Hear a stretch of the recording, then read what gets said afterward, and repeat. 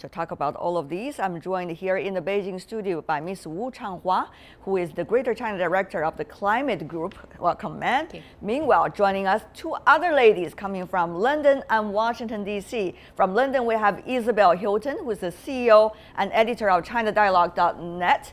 And also in Washington, we have uh, Ms. Sarah Ladislaw, Senior Fellow and Director of Energy and National Security Program at the Center for Strategic and International Studies.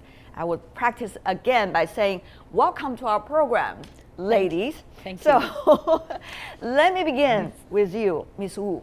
There has been concern leading up to the climate change conference whether China will be able to fulfill its promise to reduce emission by the year 2030 target. What is your input in this direction? I feel rather confident. I think China has made the commitments on the table, and I feel very confident that China will be able to deliver the target set, including capping the emissions no later than 2030, including develop alternative energies, particularly renewable energy, around 20% of the energy structure uh, by 2030. In the meantime, dramatic increasing energy energy efficiency by 60 to 65% over to mm. 2005 level. I think the reason I said I feel confident, I think China will deliver because China has been on the track delivering that sort of targets and started to 10 years ago, starting the 11th five-year plan.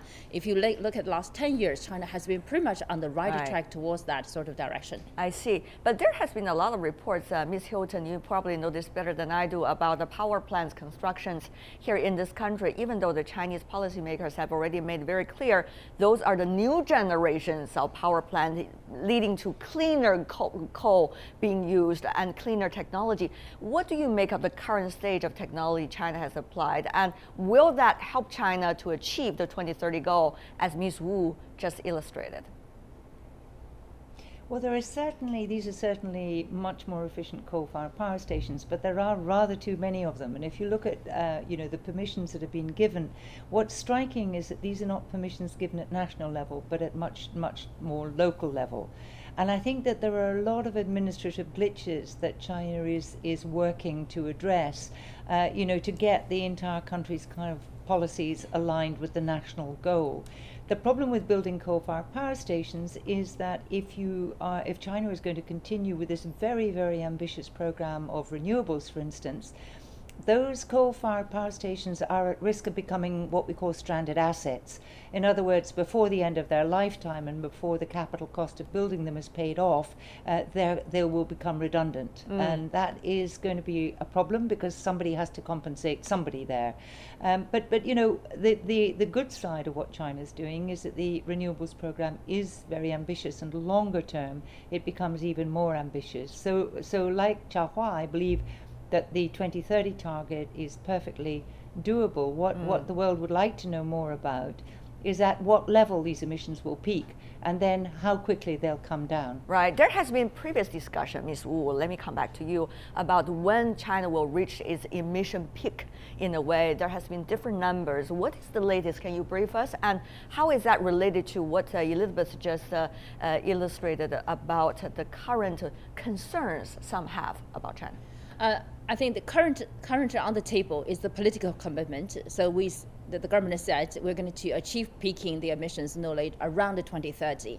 But if you look at the different other, the other assumptions scenarios, actually telling a much more positive story, basically saying if China continues actually its efforts now, there is a possibility that China will be able to achieve the emission capping by 2025, even somewhere between 2020 and 2025 there. So that gives you a very, very sort of encouraging sign that China is mm. on the right track and we're going to deliver that. I think uh, uh, Isabel made a good point as well. A part of the challenge actually to achieve that sort of target is the coal, is the fossil fuel. We still have a big trunk of the energy structure. Uh, we rely on coal. So yes, the stranded asset, what do we deal with that? Someone has to pay for the right. cost. I think that requires actually the government and the public-private sector working very closely, trying to address that in order to minimize the cost actually, but in the meantime, speed up the process to trans, you know, to achieve the energy transition towards a much cleaner future. We're going to talk a little bit about that later in our program. But first of all, let me go to you, Ms. Ladislaw. You've been uh, listening to the other two ladies talking about China's situation. But what about the United States? We understand there has been some difficulties for the Obama administration to push forward its original promise, uh, particularly at local level, and when it comes to business community as well. Now the presidential election season already going on. What do you make of the promise once already made by the Obama administration? Will that be once again stated during this year's climate change conference? Yeah, I think that the United States has a pretty solid game plan going into the negotiations, and probably the thing that they feel the most comfortable about, uh, or at least feel like they've gotten a lot of success on, is in fact the partnership with China. Uh, in terms of what was going to be put on the table for the negotiations and what each country is pledging to do.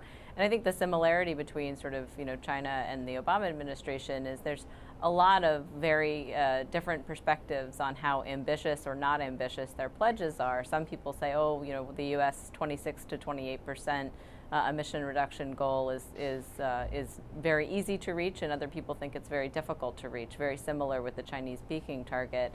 And so I think that they both feel like that's actually in the nature of what they should be trying to do, which is trying to put something on the table that is uh, on the one hand very ambitious, but on the other hand, if you if you actually end up achieving those targets a little bit more easily than you thought you would, uh, then you can actually try and uh, go for higher levels of ambition, which is a really important factor uh, in both the domestic politics of, of how you approach reducing emissions, but also in the negotiations. Mm. Wu, how do you see that from outside the United States? Well, I, I, think Sarah made a good point. I think we all recognize the commitments made by the Obama administration. I think that's very encouraging to see actions already on the ground in the U.S., particularly around the clean energy. Um, one big difference actually between China and U.S. at this mm. mo moment getting into Paris is legally binding. I think from China's side, the commitment on the table will be legally binding because that's going to be integrated into domestic five-year plans. That's going to be implemented, delivered. Of course, that's aligned with the international legal framework there as well. But from the U.S. side, I'm not sure at this moment because okay. we all have the lessons back in the Kyoto process. So maybe the uh, the presidential office, actually executive part, could be committing to actually the international process. But when they bring that targets back to the Congress and to get the Senate votes, right. in many many cases that's that's become problematic well, actually. so better, I think that's the big, big challenge uncertainty. We better ask uh, Ms. Ladislaw how big a challenge really that is. I know it's a difficult question for you, but you are the only expert, I guess, about the American politics than most of us. Well, it is a difficult. It's a difficult issue. I mean, it's it certainly is. I mean, I think the negotiators themselves have found a way uh, to deal with the issue of whether or not the treaty should be legally binding. Um, but it, whether or not that's going to be satisfactory for all of the different parties is still something we'll have to wait and see. I mean, look, I think that the the U.S. has been arguing for a long time now that as long as the policies that are being put forward in these pledges have a domestically legally binding um, portion of it, and I would argue that you know the vast majority of what the U.S. is putting on the table is actually grounded in U.S. regulation and U.S. law. That you have all of the effect of what you need in terms of a legally binding agreement.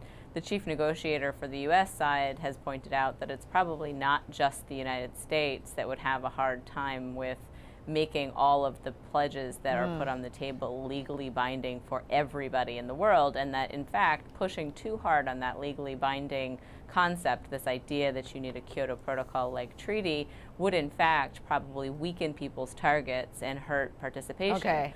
Uh, you know, I'm not sure we'll have to see that play out, but I think that that's one of the risks of pushing for something that's legally uh, binding. Yeah, before I go to Ms. Hilton, let me just uh, press a little bit on you, uh, Ms. Ladislaw you know, we, when we look at the history, legally binding has always been one of the biggest controversies when it comes to climate change conference and commitment. Back in Copenhagen, it was because of this, not necessarily only because of this, that the agreement came to a failure. However, later, as we're approaching this year's climate change conference, China and US side began to talk about whether they can work out a possibility of legally binding so that the target can be better achieved by countries, including the United States and China. And now we are really approaching the climate change conference. It seems that kind of possibility is becoming dim again. And it seems to be a very interesting ups and downs for us. Uh, uh, how much of that is politics? How much of that do you think is real calculation about really capacity of uh, countries to achieve the goal that they have, uh, you know, pat on their own shoulder and say we can do that? Yeah, I think that it's a, a, lot of it is politics and a lot of it is positioning before the negotiations, in my opinion. I think that what they've been able to figure out is you could actually have a legally binding agreement that allows you to agree to the process, right? Everybody can agree that they're going to put together um, pledges uh, towards the process, agree that they're going to participate in the talks, in the pledge and review process, all of the sort of parts of the talks that don't have anything to do with the substance of what you put on the table. And the substance of what you put on the table would not be legally binding, right? So those would be things that you can actually improve on over a period of time if you decide that you could do more. Mm. Um, so I think that there actually is a solution to this legally binding concept. It doesn't make everybody feel great, but it is a fairly effective compromise. Mm. And so I think that that is something that we could see emerging um, from the talks uh, that might be sort of a helpful uh, way to sort of thread the needle on this contentious issue. Ms. Hilton, is that kind of flexibility really going to be helpful for us to reach the goal? It's not just about the negotiations, in fact, it's about reaching the goals. That is what the important. That is what's going to account. It is, yeah. Mm. I mean, I think flexibility is essential if you're trying to get a global deal because you've got to reconcile the interests of poor countries, rich countries, big emitters, countries that are, you know, more advanced down the road of, of mitigation than others. So, flex without flexibility you, you get what you got in Copenhagen, which is a breakdown. People are really keen not to have another breakdown in Paris. So what we'll get in Paris is a floor. You know, it's not a ceiling of ambition, but it's a floor. So it's important to understand what people are bringing. They're bringing what they know they can do. That's what these pledges are. They're pledges that haven't been imposed on anybody. They've mm. been brought by the countries themselves. So there's good, you know, there's good reason to believe that that this is what they can do and they will do it. What it doesn't do, however, is take us below two degrees. So the pledge and review that's just been mentioned, that is the interval and the mechanism for going back to those pledges and say, we're really not getting to two degrees, so we have to tighten uh-huh. these up. And that will be something to discuss in Paris. But, but, but, the, but the main purpose of Paris is to get a comprehensive agreement that will be, be something we can build on going forward. Right. A comprehensive agreement, once again, is very important. But what is even more important is whether those goals are going to be achieved. That's really what is going to count yes. in the future. So, what about those goals without pressure, without monitoring, which is without certain degrees of uh, monitoring and, and also legally binding? Is that necessary possible that goals can be achieved. I mean, governments could be sloppy, okay. we all know that. Yeah, and there could be changes in politics, we all know that. So, in order yeah. to make one conference success, are we sacrificing the real goal of having a conference, which is to achieve the goals, the targets? I think we have. We're not. I don't think we're yeah. sacrificing it. Um, I mean, it, it, was true that, that, that we had hoped that Paris would put us on a two degree pathway, but the choice is between a less than perfect outcome okay. and no outcome right now.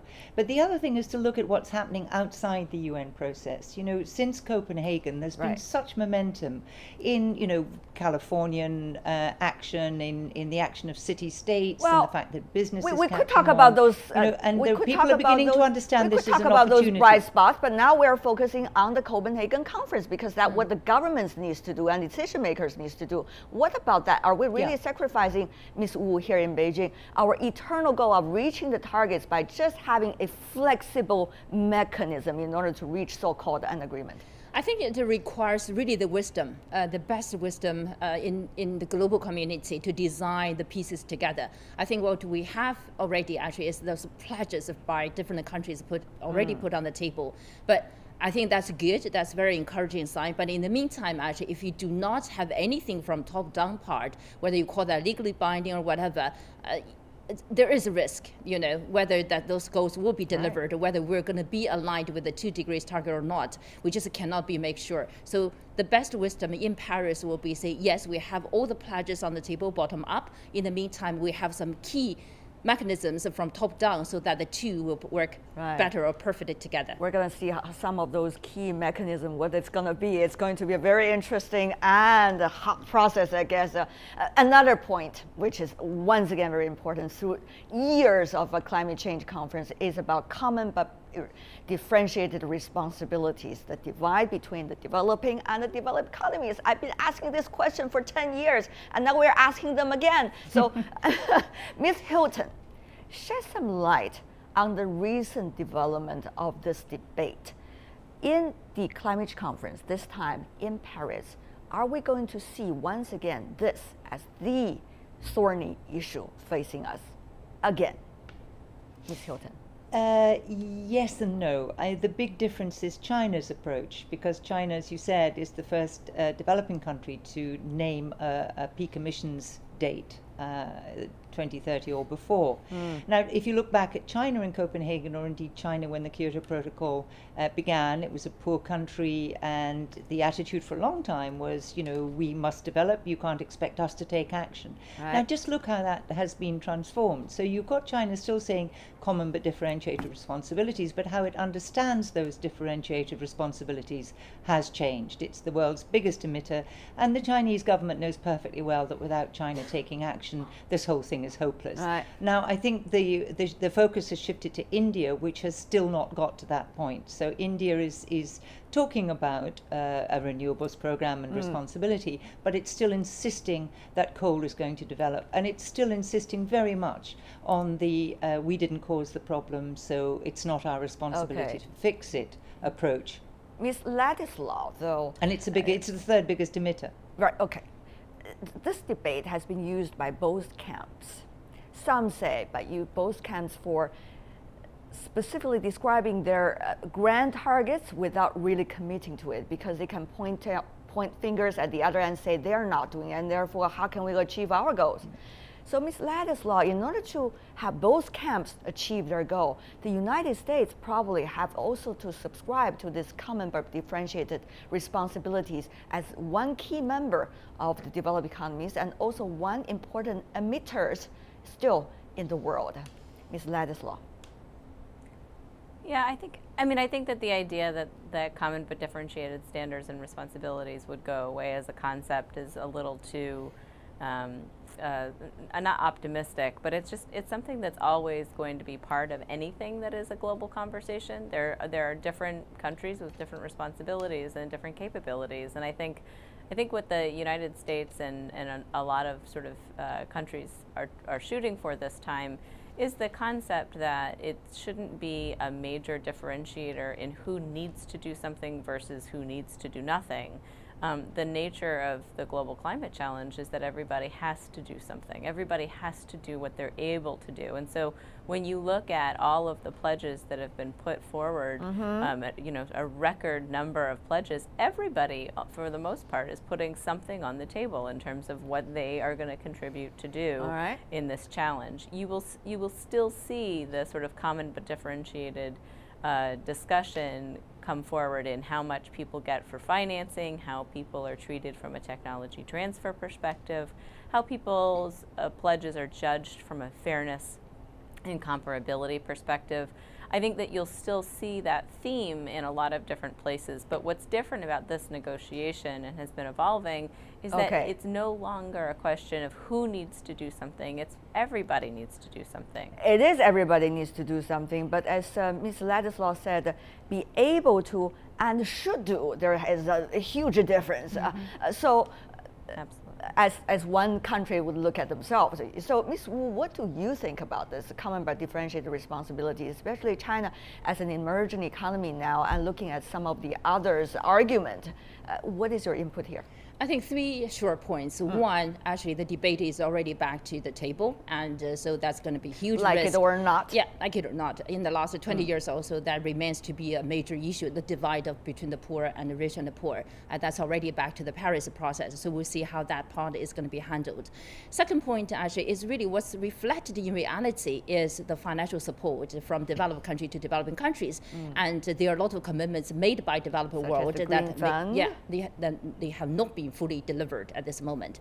The last point is also China. China, as uh, Isabel mentioned, China's role has been shifting dramatically in the last few years or de decades or so. And so China is an emerging economy. All so right. if you started to see interesting role of China, see, I'm a developing country, but in the meantime, I'm taking on my responsibility. So besides all the things China committed to do, in the meantime, China started to initiate mechanism like South-South, you know, finance, climate finance fund, something like that. You really started to playing its sort of role mm. in working more closely with other developing countries in order to address effectively global climate challenge.